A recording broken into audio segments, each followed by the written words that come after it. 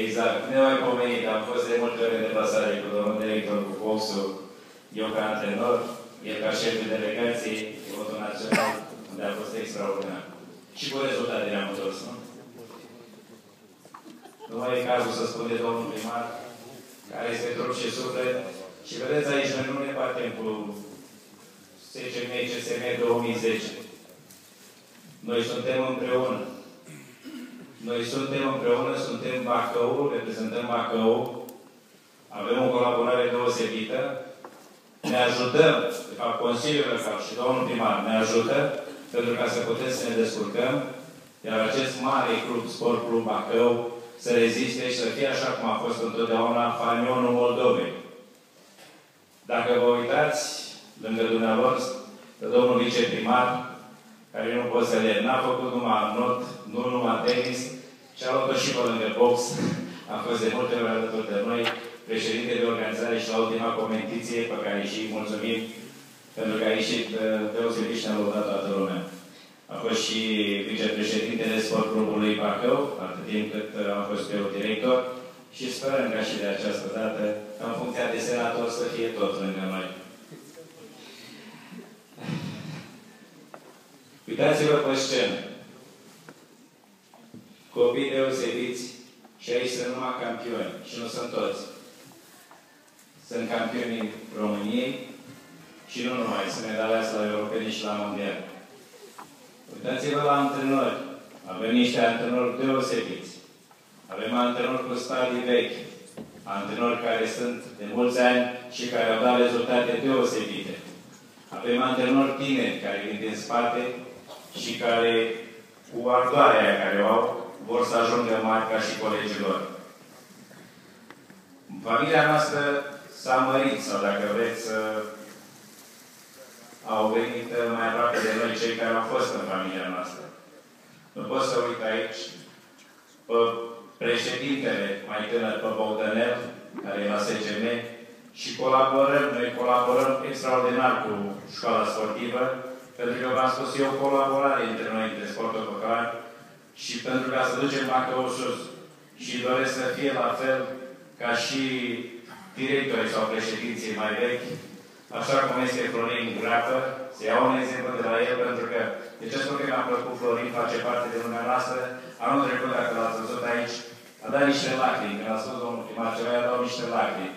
O să înseamnă lucru mare, pentru că nu poți, Bogdanele, mai nou venit în rândul nostru, dacă nu pui și inimă, nu pui și suflet, nu poți să ajungi să fii, așa cum ai fost un sportiv mare, nu poți să fii un director mare. Uite de exemplu de la domnul primar în tribună, cum îl vezi cum face la toate sporturile, și ai să dai seama că trăiește. Bine ai venit în rândul nostru.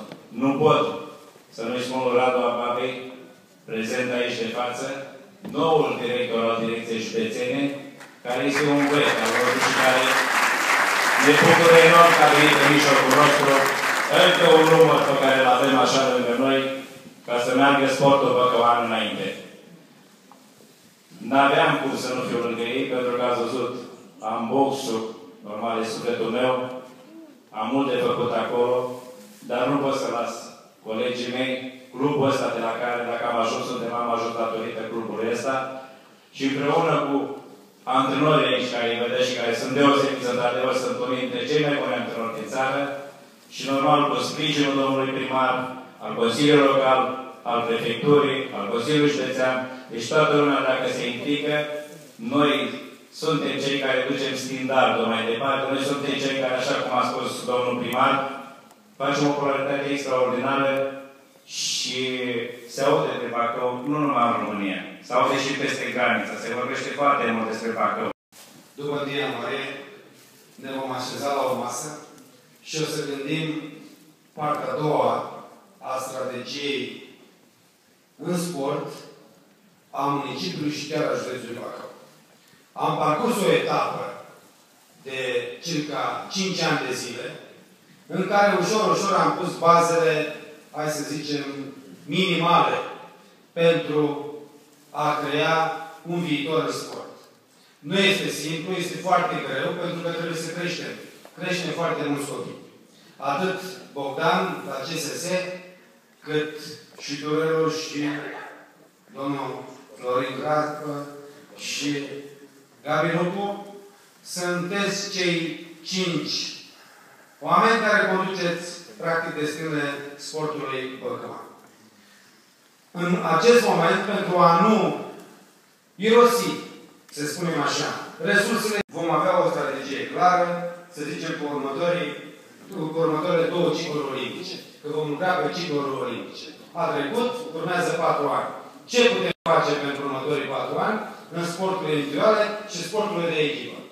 Vrem să fim campioni național la handbal senior, vrem să fim campioni național la natație, nu știu cât, vrem ca tu să ai nu șase campioni, zece, te rog frumos. Zece campioni național, glumesc, bineînțeles, dar mai mult decât orice, vrem să avem o strategie pentru a avea la campionatele europene și mondiale și nu în ultimul timp Olimpiada, la Olimpiadă, câțiva sportivi. Adică aceste resurse financiare pe care le vom aloca în fiecare an, transparent, să nu mai spună nimeni că mie nu mi-a dat sau celălalt mi-a dat. Nu. Veți primi bani și vom aproba în Consiliul Local și poate și alocări guvernamentale în funcție de sportiv și de rezultat. De sportiv, numărul sportivilor și rezultatele acestora. Și atunci, cu siguranță, că nimeni nu va avea uh, nimic de spus și mai ales că vom putea să, hai să spunem, să mergem aici. Eu sunt convins că cei cinci care sunteți acum, sau șase, sunt convins că veți veni cu un proiect până la 15-20 ianuarie, minimal, pe un an și pe patru ani. Succes!